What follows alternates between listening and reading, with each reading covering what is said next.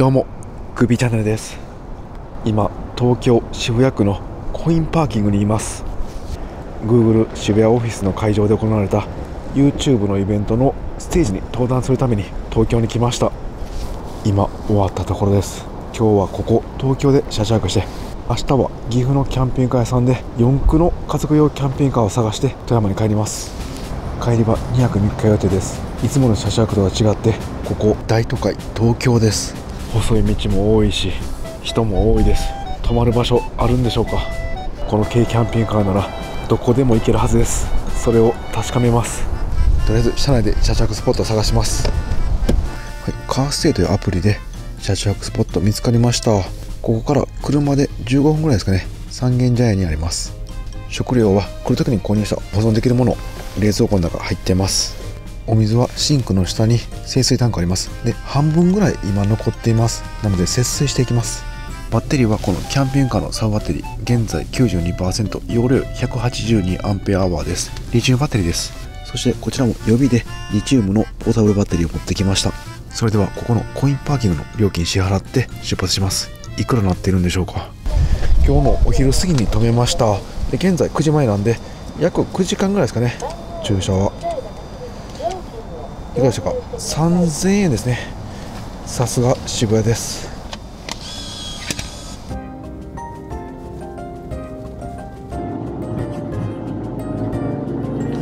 はい。三軒茶屋までナビで表示してるんですけど道真っ赤です。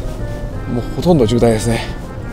これ片側3車線あるんですけど一番左がも路駐してるんでほぼ片側2車線状態です。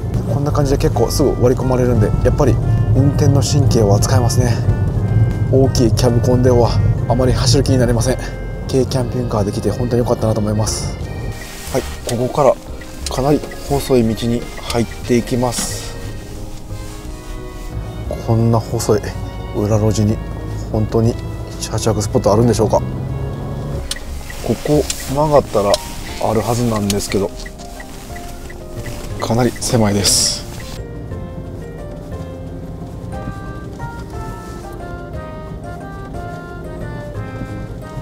ここなんですけどね。本当にここなんでしょうか。なんかこのようなものもあります。あここですね。予約専用駐車場カーステ書いてます。駐車完了しました何回も切り返して少し時間がかかっちゃいました。こんな感じでコインパーキングのすぐ横にカーステイのスポットがあります。ここドア開けれるように広げたんですけどもうちょっと詰めてもいいですね。反対側はこんな感じで駐輪場があります。で後ろがこんな感じでもういっぱいなんですね。ギリギリです。ここの場所はモテアマス三軒茶屋というシェアハウスのようです。なかなかディープな場所ですが嫌いではないです。一晩で2222円でした。それでは車中泊のセッティングしていきます。このシェアハウスから運転席丸見えなんでシェードしておきます。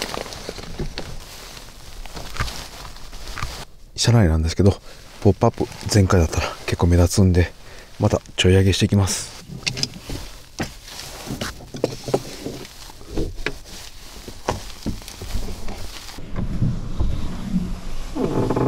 はいちょい上げポップアップ完成しました。この2本の短い突っ張り棒で支えてるんですけど昨日試したら結構強度があって強い風でも全然揺れませんでした。ただやっぱりこれテント生地みたいな感じなんですごい冷気が入ってきて車内の温度が下がるんですけどこの車高が 2m ぐらいから 2m30 ぐらいまで上がりますんでこの 30cm だけでだいぶ快適度は変わってきます。本来なら一番上まで上げたら立てるんですけどやっぱり風に弱いのとあとは騒音が少し大きくなるのとかなり外から目立つのでこういった都会ではこのちょい上げポップアップが快適で目立たなくていいです。で近くにですね銭湯があったんでこの下町の銭湯行ってきます。でこのリアのボックスに入っている着替え取ります。おギリギリいけますね。トイレなどはこのシェアハウスのトイレを使えるようです。いやーいいですねこの感じ。地元の方が仕事終わって帰ってきてます。たくさんの飲み屋がある商店街です。ドラッグストアやコンビニなど何でもあります。後で飲み物だけ買って帰ります。この辺なんですけどあこれですかね。めちゃめちゃ雰囲気いいです。いやこれは楽しみです。壁に書かれている富士山を見ながら熱々の湯船で体の芯まで温まりました。確かここのコインパーキングですね。合ってました。それでは車内で宴開始します。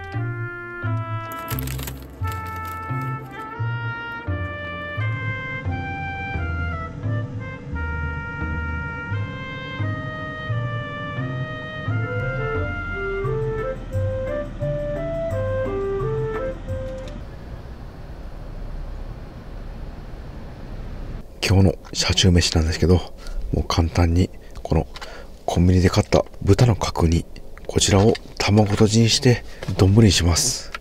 豚の角煮の中には美味しいタレがたくさん入ってます。もう調味料なしでこれだけで間違いないと思います。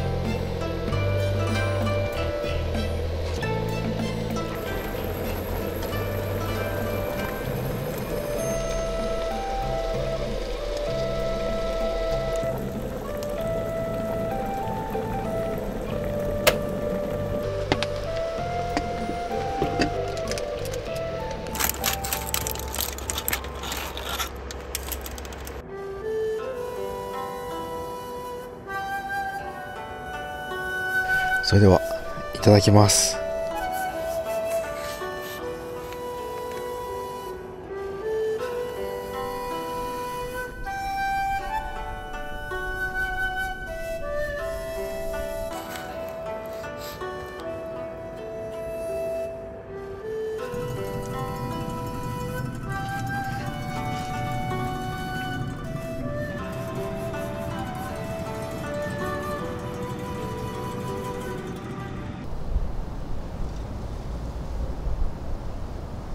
ごちそうさまでした。いや美味しかったです。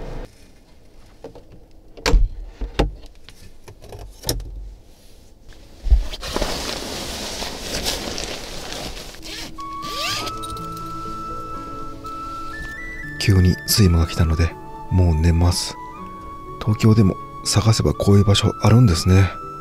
スペース狭いので小さい車でしか無理ですけど助かりました。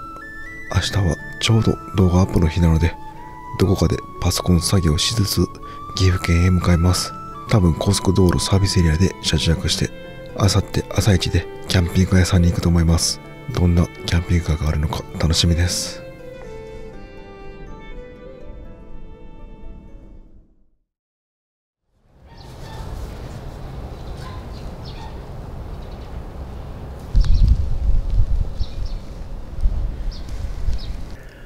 はようございます。現在車内の温度が16.1度外気温は10.9度とちょうどいいです。そうなんですけど隣はコインパーキングなんで出入りの音は多少しました。そして反対側シェアハウスの出入りの音も多少します。裏もマンションやアパートがありますんである程度生活音はします。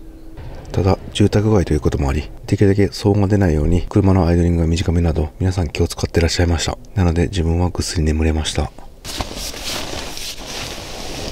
現在9時半とかなり遅くまで寝てしまいました。でここが10時チェックアウトなんで朝ごはんはここで食べれません。なので高速道路入ってからいただきます。今回の車中泊もこのちょい上げポップアップのおかげで車内は快適に過ごせました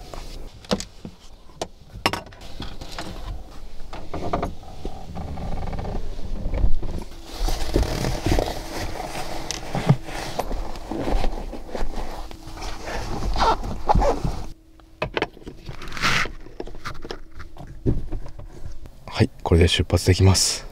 本山津三軒茶屋さんありがとうございました。東京コインパーキングはたくさんあるんですけどこうやって有料の宿泊利用 OK の車中泊スポットは少ないのでここの存在はありがたいですね。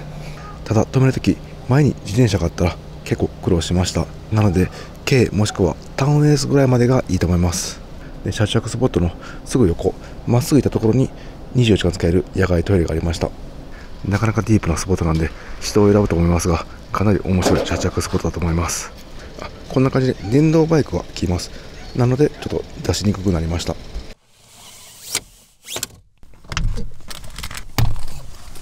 今日はポカポカ陽気であったかいです。はい駅も近いということで歩行者がかなりいます。ちょっとゆっくりできるだけ低速で慎重に進んでいきます。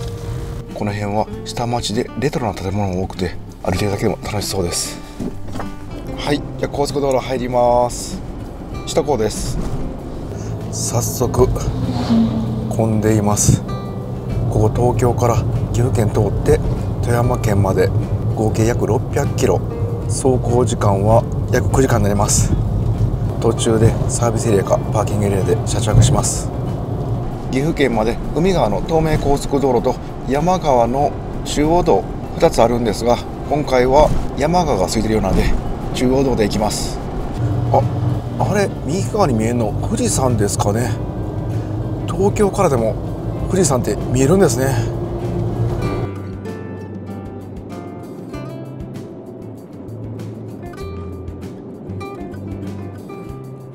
1時間ぐらい走行し東京を抜けて山梨県まで来ました。車結構多かったですけどここまで来ると山に囲まれていて空気が美味しいです。じゃここで朝食いただきます。サブバッテリーなんですけど現在車中泊3日目で残量は81%です。高速道路結構走ったので走行充電で結構溜まってます。そして現在はソーラーパネルの入力で約 200W 発電されています。今回調理も全部電気なので一応サブでポータブルバッテリー持ってきたんですけど必要なさそうです。結構車内があったかくて外気温が13度なんですけど中は22.6度です。もうなんやったら半袖もいけるぐらいです。やはりキャンピングカーといえども直射日光が当たると車内の温度はかなり上昇します。3月ぐらいになってくるともう車内でお昼過ごすの窓開けないと無理になりそうです。朝ごはんなんですけどこの買って食べていなかったステーキいただきます。レトルトのご飯もありますんでこちらを使用してステーキ丼にします。朝から合成なんですけどお腹ペコペコなんで問題なく食べられると思います。はい。じゃあ肉焼きますんでこの新しい換気システムで換気します。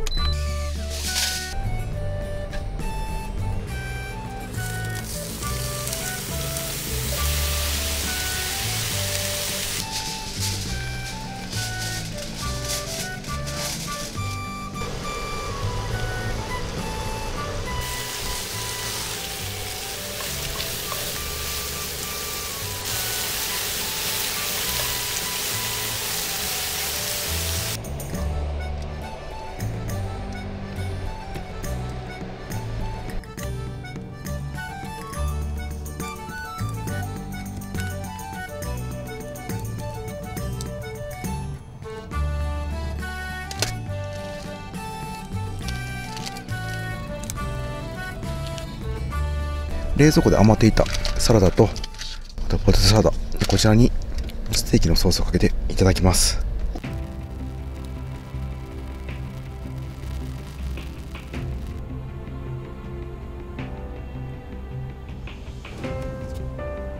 かなり豪華な朝食になってしまいました、まあ、今日ぐらいいいですよね。それではいただきます。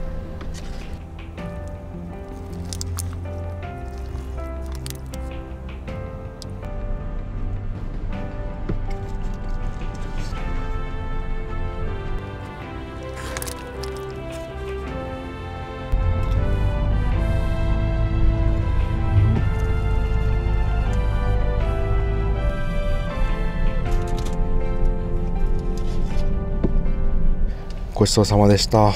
お腹いっぱいになりました。それでは片付けていきます。ラップしていたんですけど下が濡れていました。で節水しながら洗っていきます。今回5日間の車中泊旅ということでタンクが半分以下になっちゃいました。新しい節水方法を試します。こちら視聴者様にコメントで教えていただきました。こういった霧吹きですね。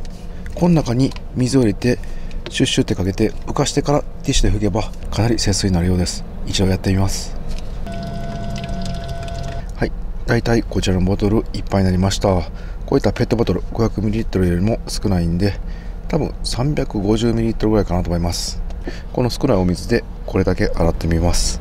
はい。じゃあスプレーでかけていって汚れ浮かしていきます。汚れはキッチンペーパーで拭き取っていきます。何回かやっていったら綺麗になっていきますね。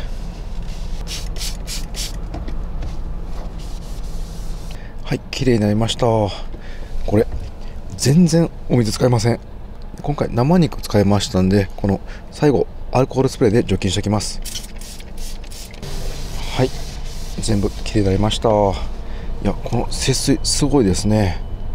匂いなどほとんど汚れがないぐらい取れました。一応帰ってからまた洗います。全然お水使わないんでこれは災害時もありですね。汚れがひどい時は何回も拭かないとダメなんでちょっと手間がかかってしまうんですけど一つの手段として有効だなと思いました。あと油物には重曹がいいと書いていました。教えていただいた方ありがとうございます。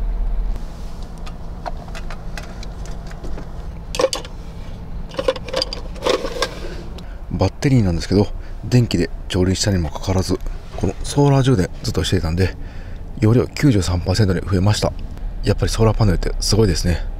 さあそれでは再出発するんですけど東京に来て離れてみて分かったのがやっぱり人というのは人に興味があるんだなと都会を離れて地方に移住して改めて気づきました。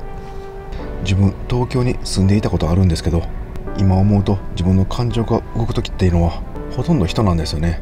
人から褒められて嬉しかったり人から嫌なことされて悲しかったりこれがいい悪い別として都会を離れてからこのことに改めて気づきました。昨日の Google のイベントで一緒になった外国人の YouTuber も言っていてなるほどと思ったのがその方は日本は素晴らしいことが多い。だから世界に発信している。それを聞いてそうかと思ったのがそこで生まれた人より外から見る人の方がその土地の良さって違う角度から分かるんだなと改めて思いました。自分自身田舎に移住しても人とのつながりは増やしていきたい。そしてまたそういう動画も作っていきたいなと思いました。ふと空を見上げたらパラグライダーが気持ちよさそうに飛んでます。かなり高い場所まで飛んでいます。はいそれでは再出発します。そしてここからですね山の中走りますんで上りが多くなってきます。今日なんですけど YouTube の公開日でもあります。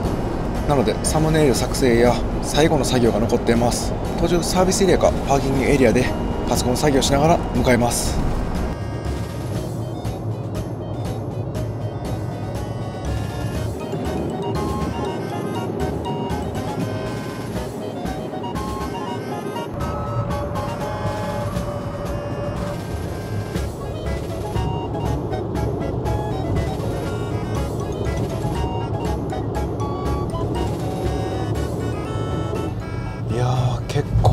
ったな。さあパーキングエリアは駐車場空いてるでしょうか。東京を出発して途中動画の公開も無事終わり愛知県まで来ました。現在夜の10時です。今日はこちらで車中泊します。今日パーキングエリアの駐車場はすごい空いてます。いつもに比べるとトラックも少ないような気がします。目的の岐阜県のキャンピングカー屋さんは愛知県の隣なんで明日朝3 4 0分で到着できると思います。車内の後部は結構ひんやりします。外気温は4.3度です。車内は15.3度そんなに低くないですね。昼暖かかったので薄着にしたので今少し寒いです。一旦 FF ヒーターで車内温めておきます。サーバッテリーの残量は100%になっています。56時間ですかね。連続で運転していました。少し疲れましたんでノンアルコールビールいただきます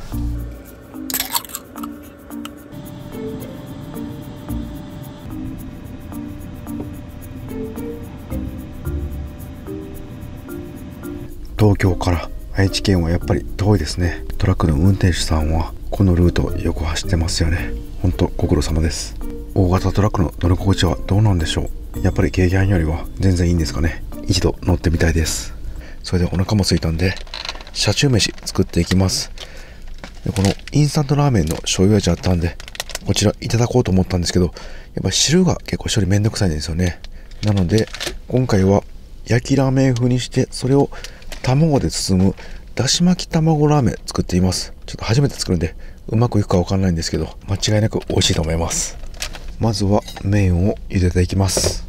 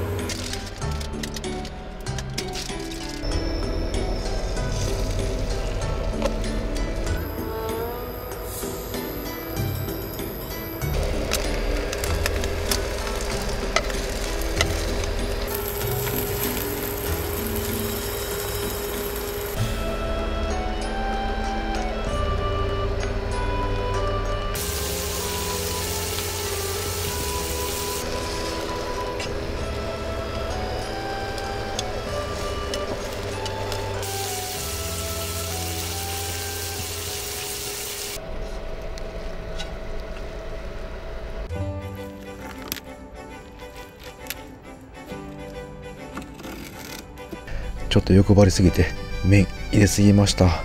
いただきます。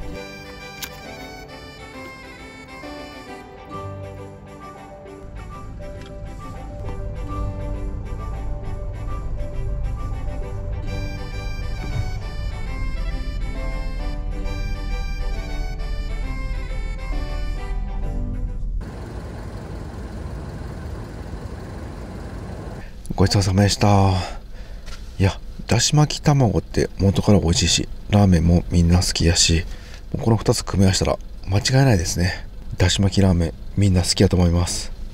そしたらまた霧スプレーで洗い物していきます。はい綺麗になりました。やっぱりですねこのスプレーだとかなり時間がかかってしまいます。なのである程度このスプレーで汚れを落としてから水道でジャーって洗うのが一番早くて綺麗になるかなと思いました。はいそれでは寝る準備していきます。さあ軽キャンピングカーの中でする歯磨きも4日目。今日は最後です。なんか5日間もこの車の中で過ごすと思うと結構長いかなと思ったんですけど昼間は用事があって夜ここでご飯食べて過ごすだけならあっという間に過ぎました。水の給水ができるところとゴミ捨てる場所があればまだまだ車中泊が可能だと思います軽キャンメーカーは本当一人で使うなら最高の空間です。座ったまま何でも手届くしこの常設ベッドのレイアウトならいつでも眠れます。本当日本中どこでも行けるいい相棒だなと思います。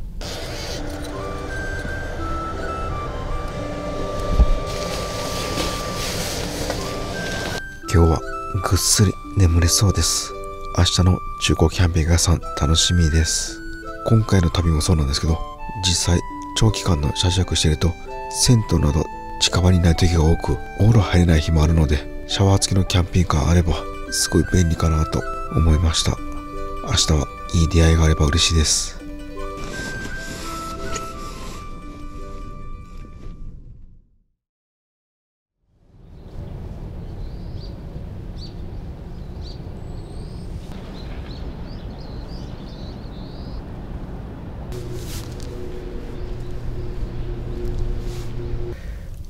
はようございます。短い時間ですがぐっすり眠れました。現在外の温度が4度中が10.4度です。で一番下がったのが外がマイナス1.9度中が4.5度です。昨日はこのポップアップちょい上げしたんですけどそれよりかやっぱり断熱効果ありますね。この内張りの中は断熱が入ってます。やっぱり一番いいのはポップアップ全く上げないのは断熱効果高いんですけどちょい上げポップアップもそこまでひどいわけじゃないんでかなり有効性はあるなと昨日と今日車中泊してみて感じました。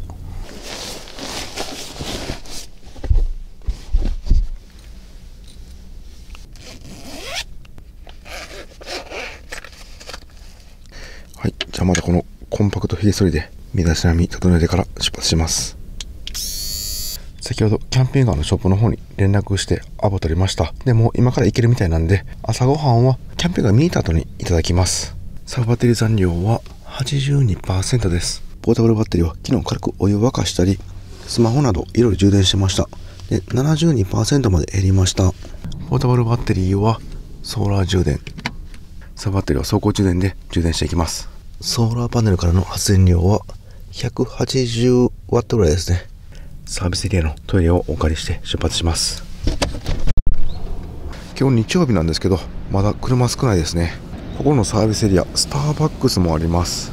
フードも結構充実していてこの愛知県名物のあんかけスパゲッティもあります。美味しそうですね。食べたいんですけど今日はもう先を急ぎます。コンビニであんかけパスタセット売ってました。こちらはまた家帰ったら嫁といただきます。ナビでは30分ぐらいですね。それでは安全運転で再出発します。この愛知県のジャンクションあたりいつも混んでるんですよね。でもやっぱり車中泊して朝早く出れたので空いてます。この辺はマイノリ車中泊の大きなメリットですね。いやここも景色綺麗ですね。それでは高速道路一旦降ります。東京渋谷区から岐阜県の岐阜羽島インターチェンジまで軽キャンピングカーの料金はいくらでしょうか？夜中車中泊したので深夜割引ありです。4780円でした。あ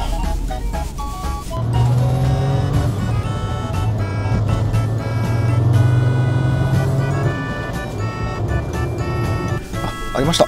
キャンピングカーずらっと並んでいます。おおすごい量。到着しました富士カーズジャパン岐阜店さんです。前回行ったのは新潟店で岐阜店は初めて来ました。全国展開してるんで在庫数はすごい量あります。はい今店員さんとお話しして自由に見ていいそうです。気になった車両あったら中見たいと思います。4駆のキャブコンを中心に見ていきます。この辺がそうですね。東亜モーターさんの防音です。すごい赤いカラーリングかっこいいですね。で走行距離が1万8000キロ。4駆で796万。ちょっと予算オーバーですが見てみます。リアエントランスの珍しい作りですね。やっぱりリアエントランスは左右に窓があってすごい広いですね。エアコン完備にここマルチルームですね。結構広い。走行時のリアクーラーもあります。いやこれかなりいいですね。ただちょっと値段が高いので検討します。はいこれも4駆でした。A to Z さんのアラモです。走行距離は10万キロ超えてるんですけど597万円です。これはベース車両はイスズの B カムです。珍しいですね。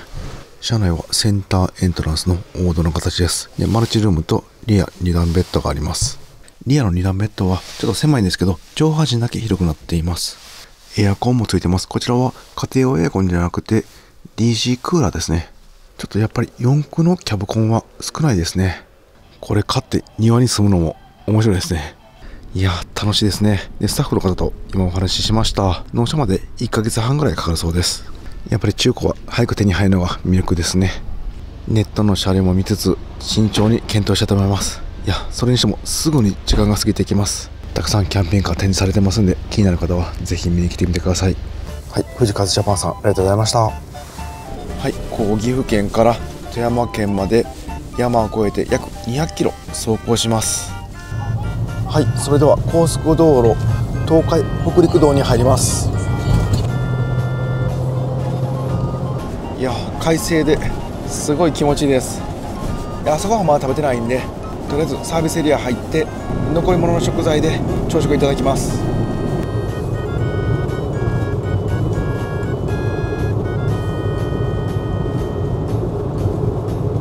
はいここのサービスエリア過ぎたらもう富山県までずっと山道なのでご飯食べてからはノンストップで行きます。今回の車種旅で最後に余った食材です。レトルトのご飯卵でインスタントのミニどん兵衛鮭レタス。もうこれ全部入れてどん兵衛鮭チャーハンにしてみます。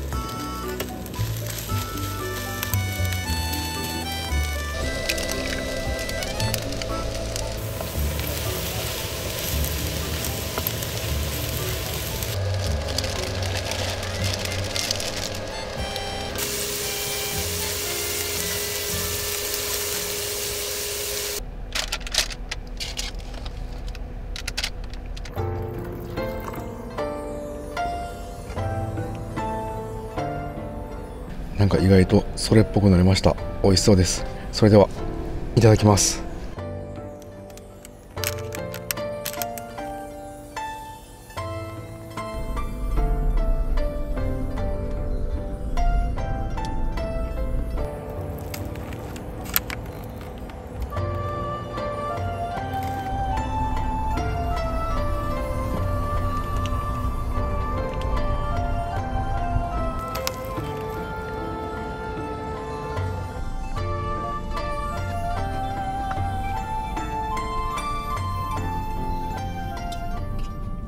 ちそうさまでした。一気に食べてしまいました。今回洗い物はもうこの2つ大丈夫なんでこちらだけ洗っていきます。ちょっとお米とかもう乾燥しちゃったやつはこの水で何回やっても結構取れにくいですね。取りにくかったものだけ最後スポンジできれいに洗っときます。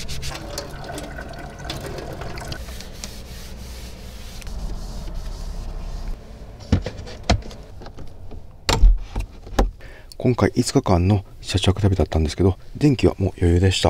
で最後タンクどうでしょうか？どのぐらい残ってるか？あ半分以上ありますね。節水した回もあったんでタンク容量は13リッターです。水は5日間の歯磨きとあと簡単な手洗いと料理に使う沸騰させる用のお水もこちら使いました。飲み水は別途このナルケンボトルに入れてきました。で足りなかったんでペットボトル2本ぐらい購入しました。この霧スプレー洗い物すればかなり節水ができます。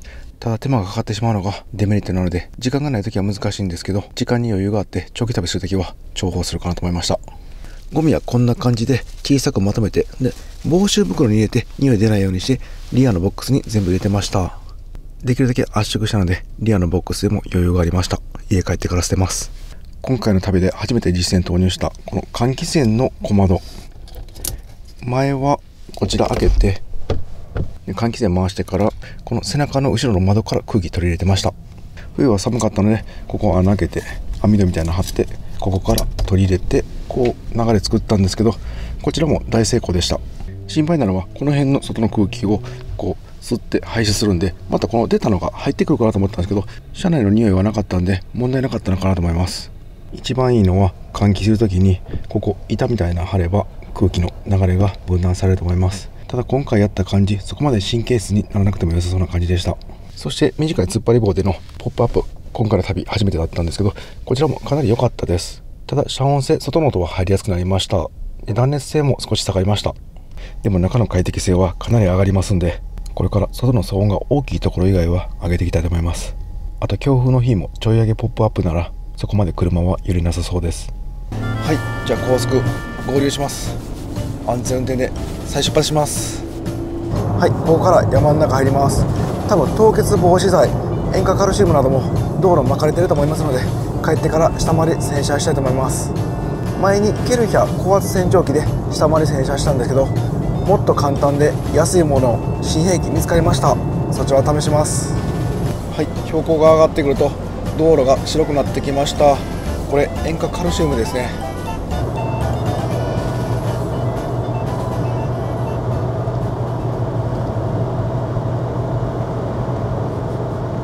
はい戻ってまいりました。それでは早速下回り洗浄していきます。新しい秘密兵器がこちらなんですけど Amazon で買った1000円しないぐらいの散水用庭用のスプリンクラーです。これを水道のホース刺します。そして水道の蛇口をひねるとこんな感じで水が出て回ります。これ下回り洗浄にバッチリですよね。自分で考えたわけではなくて YouTube 見てやってる方がいたので真似しました。でその方はホースをですね車体の下を入れてからこんな感じで引きずってました。音が結構うるさいのと下擦れますんで自分はこれにアレンジしたいと思います。このプラダンを下に敷きます。固定は結束バンドでします。はいこれでだいぶ滑り良くなりました。今回はこちらさらに滑りが良くなる家具の下とかにつけるやつですね。両面テープでつけます。こちらを貼っていきます。はい適当に貼ってみました。これでさらに滑りが良くなった気がします。これでやってみます。こんな感じで引っ張るように紐先付けました。はいこれで水出します。そして反対側から引っ張ります。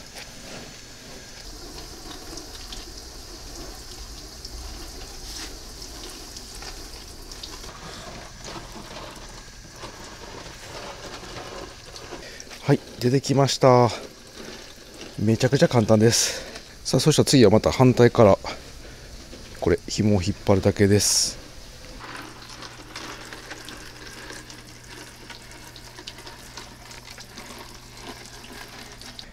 綺麗になりました。これだったらケルヒャなどの高圧洗浄機より水の勢いが優しいんで車体下には優しそうです。長距離の雪道走った後はこれからも下回り洗浄していこうと思います。それではご視聴ありがとうございました。